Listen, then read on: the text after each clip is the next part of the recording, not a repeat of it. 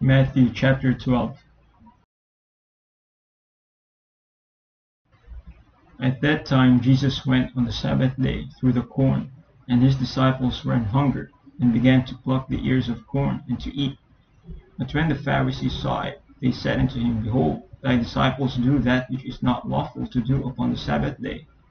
But he saith unto them, Have ye not read what David did, when he was an hungered, and they that were with him, how he entered into the house of God, and did eat the showbread, which was not lawful for him to eat, neither for them which were with him, but only for the priests?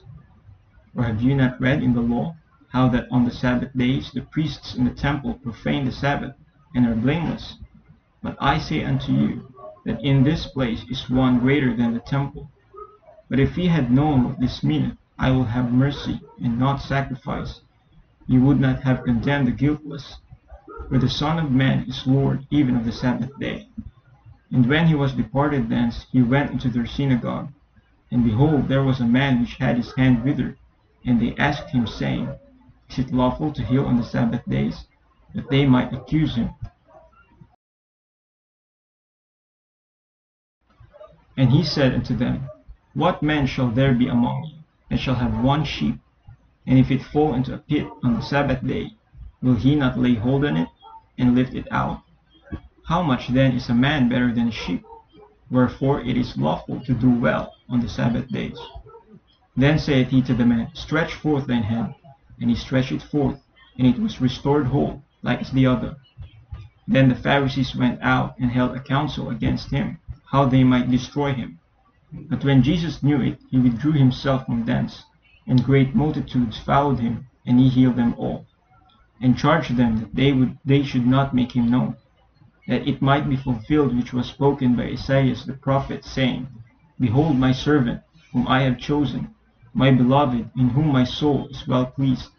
I will put my spirit upon him, and he shall show judgment to the Gentiles. He shall not strive, nor cry, neither shall any man hear his voice in the streets.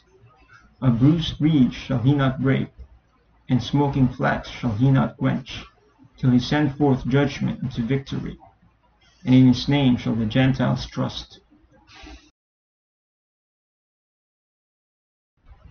Then was brought unto him one possessed with a devil, blind and dumb, and he healed him, insomuch that the blind and dumb both spake and saw. And all the people were amazed, and said, Is not this the son of David? But when the Pharisees heard it, they said, This fellow doth not cast out devils, but by Beelzebub the prince of the devils. And Jesus knew their thoughts, and said unto them, Every kingdom divided against itself is brought to desolation, and every city or house divided against itself shall not stand. And if Satan cast out Satan, he is divided against himself. How shall then his kingdom stand? And if I by Beelzebub cast out devils, by whom do your children cast them out? Therefore they shall be your judges. But if I cast out devils by the Spirit of God, then the kingdom of God is come unto you. Or else how can one enter into a strong man's house, and spoil his goods, except he first bind the strong man, and then he will spoil his house? He that is not with me is against me, and he that gathereth not with me scattereth abroad.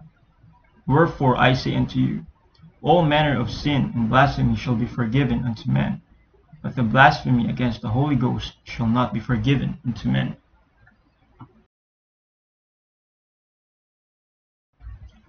And whosoever speaketh a word against the Son of Man, it shall be forgiven him. But whosoever speaketh against the Holy Ghost, it shall not be forgiven him, neither in this world, neither in the world to come.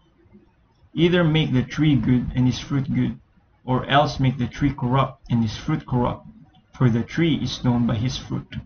O generation of vipers, how can ye, being evil, speak good things? For out of the abundance of the heart the mouth speaketh. A good man out of the good treasure of the heart bringeth forth good things, and an evil man out of the evil treasure bringeth forth evil things. But I say unto you, that every idle word that men shall speak, they shall give account thereof in the day of judgment. For by thy words thou shalt be justified, and by thy words thou shalt be condemned. Then certain of the scribes of the Pharisees answered, saying, Master, we would see a sign from thee. But he answered and said unto them, An evil and adulterous generation seeketh after a sign, and there shall no sign be given to it, but the sign of the prophet Jonas. For as Jonas was three days and three nights in the whale's belly, so shall the Son of Man be three days and three nights in the heart of the earth. The men of Nineveh shall rise in judgment with this generation, and shall condemn it, because they repented at the preaching of Jonas. And behold, a greater than Jonas is here.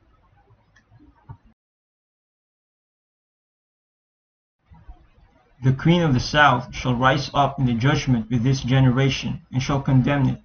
For she came from the uttermost parts of the earth to hear the wisdom of Solomon. And behold, a greater than Solomon is here. When the unclean spirit is gone out of a man, he walketh through dry places, seeking rest, and findeth none. Then he saith, I will return into my house from whence I came out. And when he is come, he findeth it empty, swept, and garnished. Then goeth he and taketh with himself seven other spirits more wicked than himself, and they enter in and dwell there. And the last state of that man is worse than the first. Even so shall it be also unto this wicked generation. While he yet talked to the people, behold, his mother and his brethren stood without, desiring to speak with him.